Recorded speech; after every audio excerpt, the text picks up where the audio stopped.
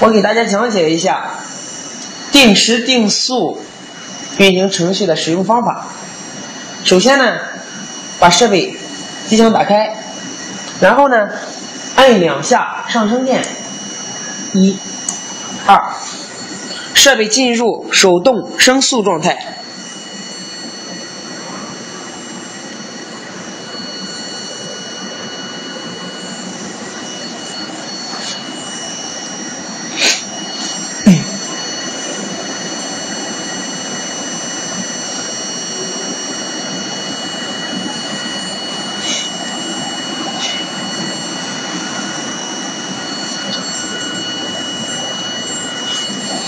现在转速是一千多转，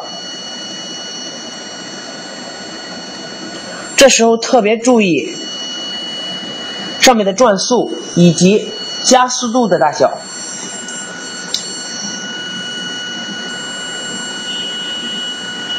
当看到加速度能出现五十米每秒的平方的时候，按一下。下降键怠速就可以。好，现在转速是两千六了，加速度是一点一。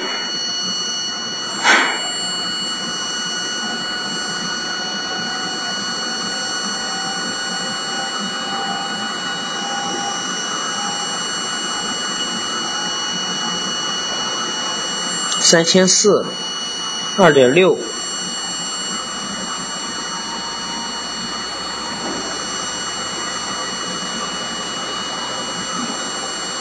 四千四点多，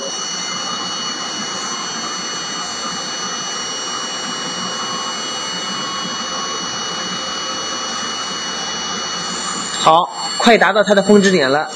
这时候先不要用升速状态，先按一下下降键。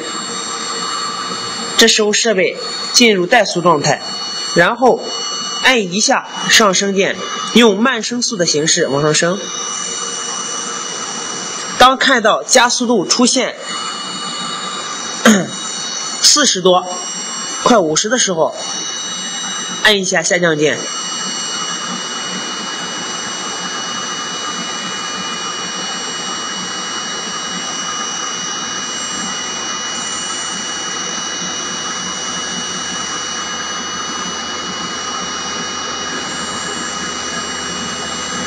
好，现在按一下。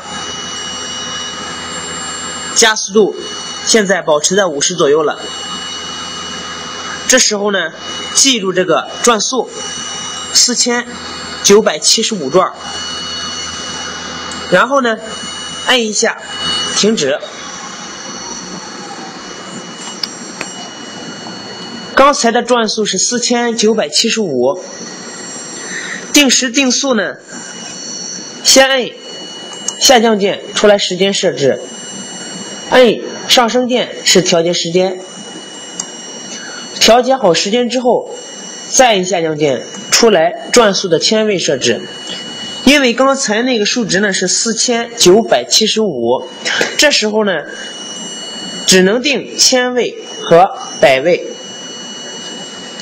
怎么办呢？我们可以把转速直接定到五千。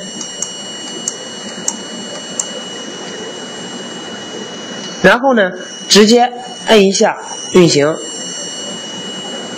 设备以快升速的形式直接升到五千转，对工件进行时效。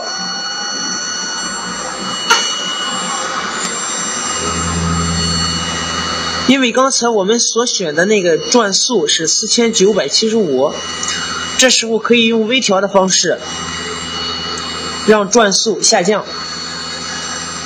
我按一下下降转，下降键，转速就下降一转。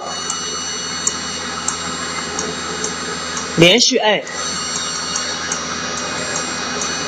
直到四千九百七十五。好了，现在所对应的加速度也是在五十左右的。它的操作就这么简单，已经完成了。